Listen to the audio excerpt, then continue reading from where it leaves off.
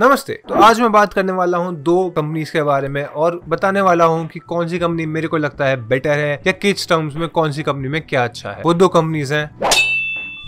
तो चलिए इनके बारे में कुछ बात कर लेते हैं। तो सबसे पहली बात कर लेते हैं रेपुटेशन के बारे में दोनों कंपनीज़ की और जैसा कि मैं अपने हर वीडियो में कंपेयर करता हूँ, दोनों कंपनीज़ के सबसे पहले रेपुटेशन की बात करता हूँ। यहाँ पे कॉन्सेंट थोड़ी सी ऊपर आती है और कॉन्सेंट का ज़्यादा अच्छा रेटिंग है कॉग्नी ज़्यादा अच्छी प्लेस होती है कैप से। तो एक छोटा सा पॉइंट है, ज़्यादा बड़ी चीज़ नहीं, ज़्यादा डरने वाली चीज़ नहीं है बट फैक्ट्स हैं तो आपके सामने प्रेजेंट होने ही चाहिए। तो अगली चीज़ आती है, आपको सैलरी क्या मिलेगी? तो एज अ फ्रेशर जब आप कंपनी ज्वाइन करोगे तो सी में आपको in hand any around twenty five thousand मिलती है. इन हैंड वहीं कैप में आपको यार थोड़ी सी कम मिलती है. मैंने जिनसे बात करी around twenty two twenty three thousand मिलती है डिपेंडिंग ऑन वेस्ट फैक्टर वो फैक्टर्स में दोस्तों को भी नहीं पता थे. बट ये दे सेट की twenty two twenty three thousand के आसपास मिलती है इन हैंड तो यहाँ पे सी में आपको काफ़ी अच्छी खासी सैलरी मिल रही है। वहीं जब आप कॉन्फिडेंट में पीए लेवल पे जाओगे मतलब एक साल कंप्लीट कर लोगे, उसके बाद आपको thirty one two thirty three thousand के आसपास मिलती है। वहीं कैप में आपको काफ़ी कम इससे मिलती है, जो की है छब्बीस से अट्ठाईस हज़ार के आसपास। तो यहाँ पे कॉन्फिडेंट आपका फिर से ऊपर आता है। अब बात कर लेते हैं, इसके बाद जो एक चीज़ काफ़ी ज़्यादा इंपॉर्टेंट होती है किसी भी फ्रेशर के लिए प्रोजेक्ट में काम मिलना है। आप खाली बैठे रहोगे तो हाँ भाई सैलरी तो आती रहेगी बट आप एक्सपीरियंस गेन नहीं करोगे। और एक्सपीरियंस गेन नहीं करोगे तो आगे अगर आपको जॉब स्विच करनी है, अगर तो आप क्या बताओगे? तो इस मामले में जितना मैंने रिसर्च की, इतना मैंने दोस्तों से पता किया कॉग्निजेंट में आपके ज़्यादा हाई चांसेस हैं, मैं खुद बता सकता हूँ।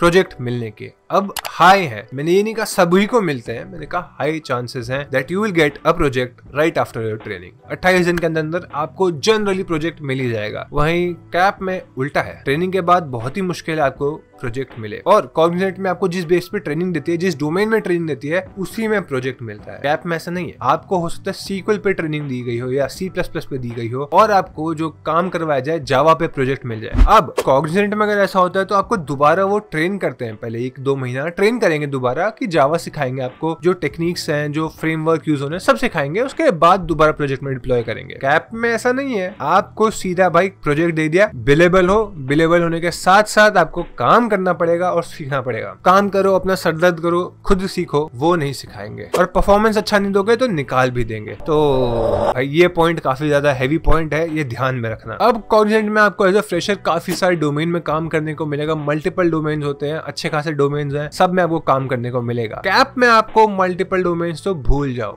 एक डोमेन अगर मिल गया तो उसी में रहना पड़ेगा। तो काफ़ी इंपॉर्टेंट चीज़ है, क्योंकि अगर आपको एज फ्रेशर काफ़ी सारी टेक्नोलॉजीज़ में ट्रेन होने को मिलता है नॉलेज मिलती है तो it's really good for your resume ये चीज़ ध्यान रखना whenever you are joining any company अब आप में से कई लोग होंगे जो सोच रहे होंगे यार कंपनी ज्वाइन करता हूँ, साथ में पढ़ाई कर लूँगा किसी पेपर वेपर की और फिर कंपनी छोड़ दूँगा सैलरी लेके। That's not what you should do but काफ़ी लोग ऐसे सोचते हैं। इस मामले के लिए ऐसे लोगों के लिए मैं बता दूँ कि कॉन्सेंट में कोई बॉन्ड नहीं है। वहीं कैप में आपकी दो साल की बॉन्ड है।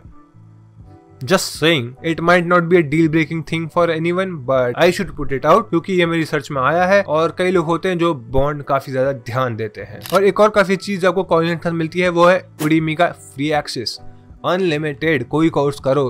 सब फ्री कंपनी पैसे देती है भाई। फ्रेशर्स के लिए इससे अच्छी बात क्या हो सकती है? आपको लर्निंग उडीमी जैसे प्लेटफॉर्म पे फ्री मिल रही है। उडीमी से स्पॉन्सर नहीं हूँ मैं, ना कॉग्नेंट से स्पॉन्सर्ड हूँ कॉग्नेंट का एम्प्लॉय हूँ उडीमी से सीखता हूँ। अगर कुछ भी गलत है तो I am really sorry but I really hope ये वीडियो आपको हेल्प करेगी, ये डिसीज़न बनाने में कि कौन सी कंपनी ज्वाइन करनी है। अगर ये फैक्ट्स बदल गए हैं या कुछ चेंज हो गए हैं by the time you are watching it क्या मैंने कुछ गलत बताया है तो do let me know in the comment section I am really really sorry for that तो अगर आपके पास कोई ऐसी इन्फॉर्मेशन है जो आप चाहते हो दूसरा शेयर करना, जिससे वो डिसीज़न बनाने में हेल्प करे तो नीचे कमेंट्स में ज़रूर बताना। बस आज की वीडियो के लिए इतना ही। इस वीडियो को शेयर करना उन दोस्तों के साथ जो कि ये डिसीज़न बनाने की कोशिश कर रहे हैं। बाकी वीडियो को लाइक करोगे तो थोड़ा सा सपोर्ट मिलता है। चैनल को सब्सक्राइब और ऐसी वीडियो देखने के लिए मिलते हैं आपसे अगली वीडियो में।